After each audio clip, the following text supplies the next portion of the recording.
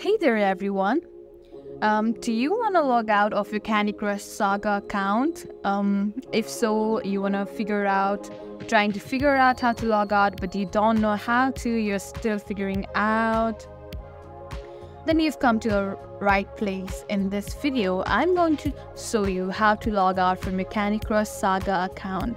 It's a very simple step, so without any further ado, let's dive right in.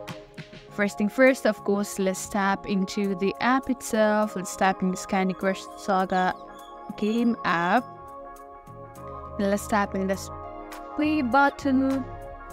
And without looking anywhere, we uh, are going to focus on that top right corner and that's the settings right there. You can see in a mini circle, pink, cute button, there's the setting option let's tap there. So you may come across various options but you have to tap in that blue button uh, with your profile picture that is my account. So let's tap into that.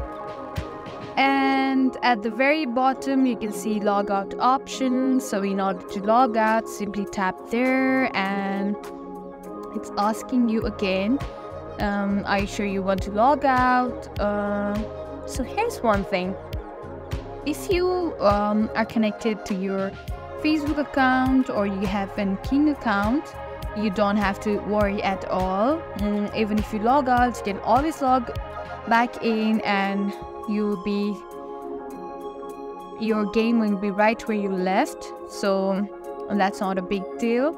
So yeah, let's tap in that red button that's log out and like that you'll be logged out from your Candy Crush Saga account. That's it. Mm, that's it for today's video. If this video was helpful, don't forget to like, share and subscribe to our channel.